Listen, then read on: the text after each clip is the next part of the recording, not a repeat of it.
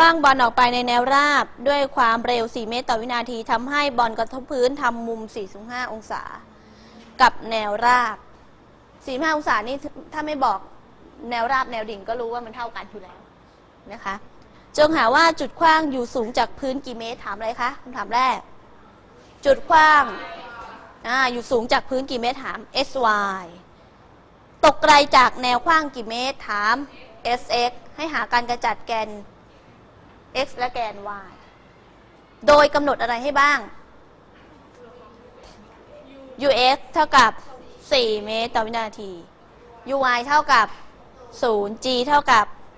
10 และกำหนดมุมกระทบมาให้เท่ากับ 45 เพื่ออะไร เพื่ออะไรคะ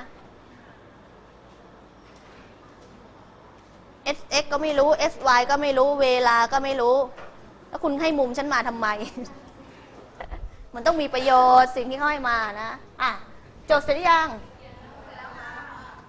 นี้เรามาดูนะคะ ลักษณะของโปรเจกต์ไทแบบนี้ ก็เหมือนกับข้ออื่นๆก็คือ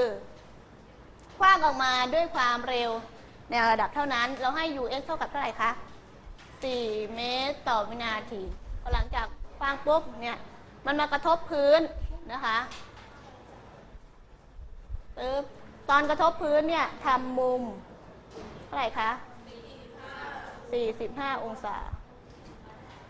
ทุกครั้งที่กระทบพื้นจะประกอบด้วยความเร็วสองระนาบคือ vx และ vx ก็เท่ากับ ux ก็คือ 4 และประกอบด้วยความเร็วแกน y ก็คือ vy นะคะ ถ้าคุย้าย vy มาใส่ตรงนี้ เราจะได้สามเหลี่ยมมุมฉากซึ่งซึ่งประกอบด้วยด้านประกอบมุมฉากคือ vx และ vy ด้านนี้ก็เป็น vy ส่วนด้านนี้เป็น v ลับ เห็นประโยชน์หรือยังอ่ามาดูนะคะครูจะยกสามเหลี่ยมมุมฉากนี้มา สามเหลี่ยมมุมฉากที่เราพูดถึงนี้ก็เป็นอย่างนี้ อันนี้มุมฉากประกอบด้วยด้านนี้คือ vx ด้านนี้คือ vy ด้านนี้คือ v มุมนี้คือ 15 จริง ๆ มันต้องเท่ากันเนาะเอาใหม่เอาใหม่เดี๋ยวนักเรียนว่าครูโกหก vx vy ใกล้เคียงไหมอ่าใกล้เคียงนะ ตรงนี้ 45 แล้วก็ vx vy v ลับนะคะ เรารู้ vx ถ้าต้องการหา vy ไม่ต้องไปใช้สูตรก็ใช้ความสัมพันธ์ของสามเหลี่ยมมุมฉากใช่ไหมคะ sin cos หรือแทนดี เรารู้ด้านนี้ด้านเดียวคือ 4 รู้ด้านชิดมุม รู้ด้านชิดมุม หาด้านตรงข้ามมุม ใช้อะไรคะ จาก ถ้าใช้ทรายก็จะเป็นข้ามฉาก ไม่รู้ทั้งสองตัวหาได้ไหม ไม่ได้ ถ้าใช้คอร์สก็จะเป็นชิดฉากไม่รู้ เราเราเราก็จะได้แค่คำตอบคือ v ลับแต่เราไม่ได้ใช้ใช่ไหมคะ เพราะฉะนั้นใช้แทนคือแทน 45 องศา ด้านตรงข้ามมุมก็คือ vy หารด้วยด้านชิดมุมคือ vx เราต้องการหาอะไรคะ vy ใช่ไหม หา vy vy ก็จะมีค่าเท่ากับ vx คูณด้วย น 45 องศา vx ของเราคือ 4 แทน 45 เท่ากับเท่าไหร่ 1 45 นี่จำง่าย เพราะด้านประกอบมันจะเท่ากับ 1 กับ 1 1 1รูท2ใช่ไหม เพราะฉะนั้นข้ามชิดก็คือ 1 ส่วน1หรือเท่ากับ 1 vy เท่ากับ1อ่าโทษที vy เท่ากับ 4 เมตรต่อวินาที อะ เอา vy ไปทำอะไรคะ เอา vy ไปทำอะไร โจทย์ไม่ได้ถาม vy ใช่ไหม แต่เอา vy ไปทำอะไร ไปหาเกี่ยวกับแกน y คือ sy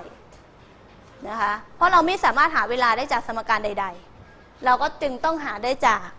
สมการที่เกี่ยวข้องกับ v สมการไหนที่สามารถหา sy โดยไม่ใช้ t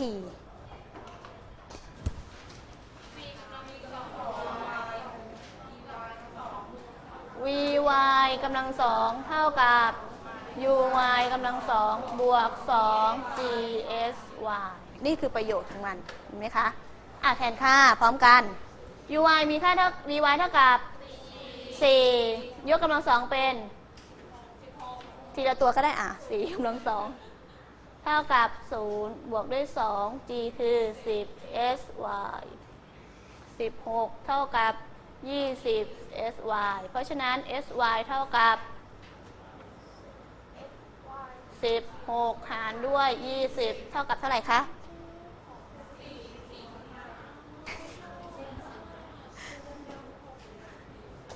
สี่สี่สิบหกสี่ห้ายี่สิบสี่ส่วนห้าศูนย์จุดตึ๊ดตึ๊ดตึ๊ดตึ๊ดศูนย์จุดแปดเมตรงั้น จุดกว้างอยู่สูงจากพื้น 0.8 เมตรนั่นเองนะคะ อะ เสร็จแล้วมาหาอะไรต่อ หลังจากนั้นหาอะไรต่อคะ หา sx ทีนี้ sx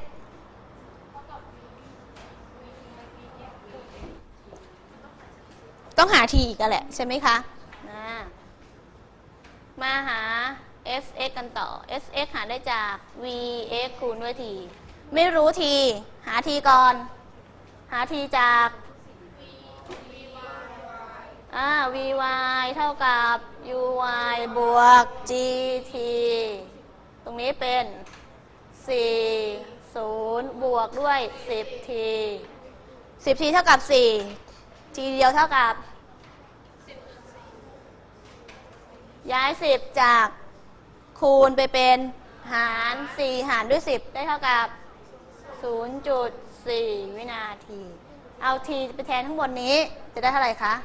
ก็เท่ากับ vx ของเราคือ 4 คูณด้วย 0.4 เท่ากับ 4 คูณ 0.4 ได้เท่าไหร่คะ 1.6 เมตร เราเหลือเวลาเท่าไหร่ พอทำโจทย์ไหม ไม่พอ เป็นที่น่าเสียดายอย่างยิ่ง เอาไปหนึ่งข้อแล้วกัน ช่วยกันคิดณเวลานี้ เดี๋ยวขอตัวแทนหนึ่งคน เพื่อเพื่อนนะ ตัวแทนที่ได้ ถ้าตัวแทนไม่มาทำเราก็จะสุ่มกัน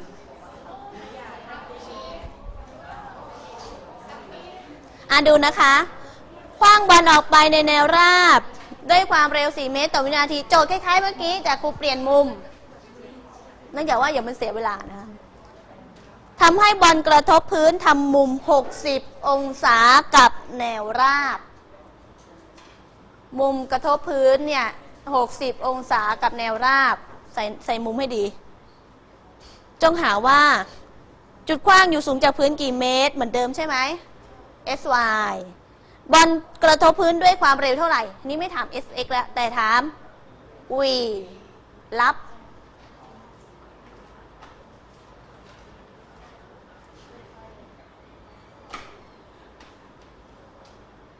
แล้วเรามีเวลาอยู่ 7 นาที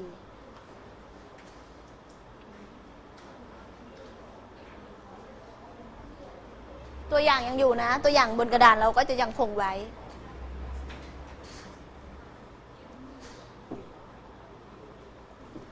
ข้อนี้มีสองคำตอบ เพราะฉะนั้นเราจะให้สักสี่แต้ม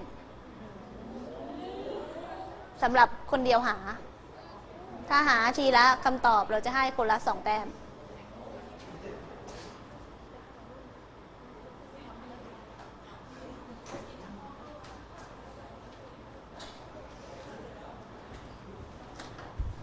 มีไหมคะ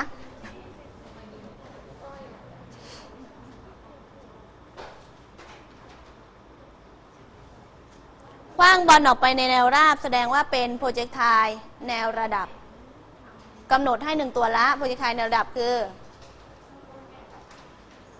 อะไรเท่ากับศูนย์ v หรือ u uy เท่ากับศูนย์ได้ยังคะ ไม่มีใครสนใจเลย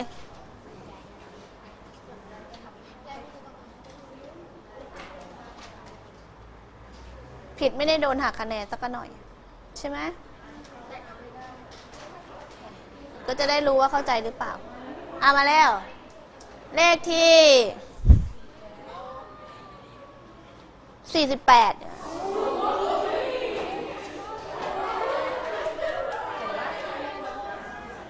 ใครคะ เขาคือใคร ใคร 48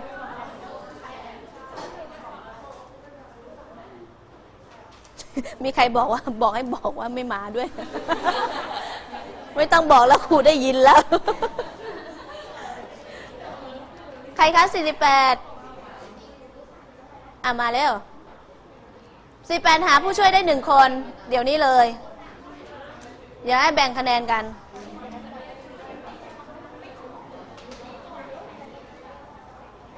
ถ้าถ้าจำทรายคอสแทนอะไรไม่ได้นี่ถามเพื่อนในห้องได้นะ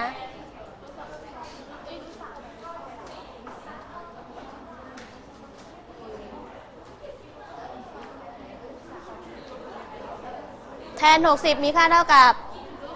รูทสามเอาเร็วๆเหลือเวลาน้อยแล้วเร็ว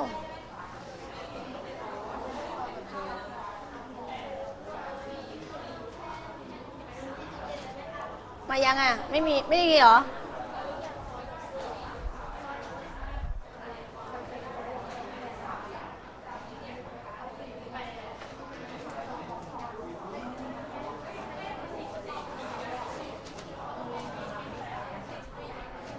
งสัยเราจะได้คำตอบอาทิตย์หน้าทำได้ไหมไม่ได้บอกไม่ได้สิคะ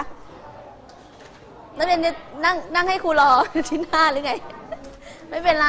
คือไม่ได้ครูจะได้รู้ว่ายังไม่ได้ จะได้ทำกันใหม่ต่อไปอย่าเป็นซีเรียสอย่าเป็นซีเรียสไม่ได้ก็ไม่ใช่เรื่องผิดปกติอ่าดูไหมมันจะคล้ายๆ ตรงนี้นักเรียนคล้ายๆจนจทย์ถามว่า sy เท่ากับเท่าไหร่แล้ว v รับเท่ากับเท่าไหร่นะคะ เราจะหา v รับได้ก็ต่อเมื่อเราต้องรู้ vx และ vy ตอนนี้นักเรียนรู้ vx แล้วเท่ากับ 4 แต่ vy ไม่รู้ใช่ไหมคะ โดยเขาให้มุมมุมตกกระทบกับแนวระดับเนี่ยเท่าไหร่คะ ให้มุมมาเท่ากับ 60 เอามุมเนี่ยเอามุมเนี่ยมาหา vy จากอะไรคะ แทน 60 เท่ากับ vy ส่วน vx ก็จะได้ว่า vy เท่ากับ vx คูณด้วยแทน 60 องศา vx ของเราคือ 4 แทน 60 คือรูท3 vy ก็คือรูท3 4รูท3ทีนี้หา v รับได้ยัง v รับมีค่าเท่ากับอะไรคะ v เท่ากับ square root vx กำลังสองบวก vy กำลังสอง v vx ของเราคือ 4 4กำลังสองบวกด้วย4รูท3ทั้งหมดยกกำลังสอง4 4 16 4รูท3 4กำลังสองได้ 16 คูณกับรูท3กำลังสองได้ 3 16คูณ3ได้ 6 3 8 4 18 48 เพราะฉะนั้น 16 บวกด้วย 48 เป็นสแควร์รูท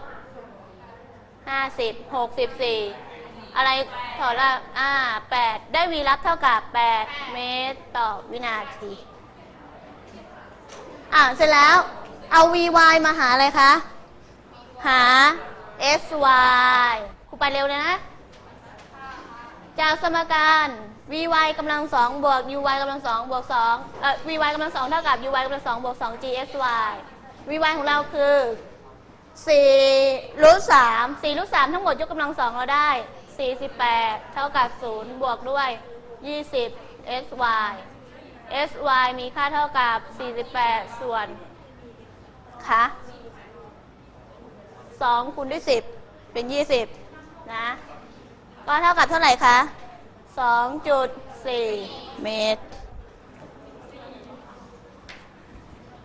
อะ ใครไม่ทันเดี๋ยวค่อยลอกแล้วไปทบทวนนอกชั้นเรียนแล้วกันนะคะ เดี๋ยวในชั่วโมงหน้า เราจะมาพูดถึงกรณีที่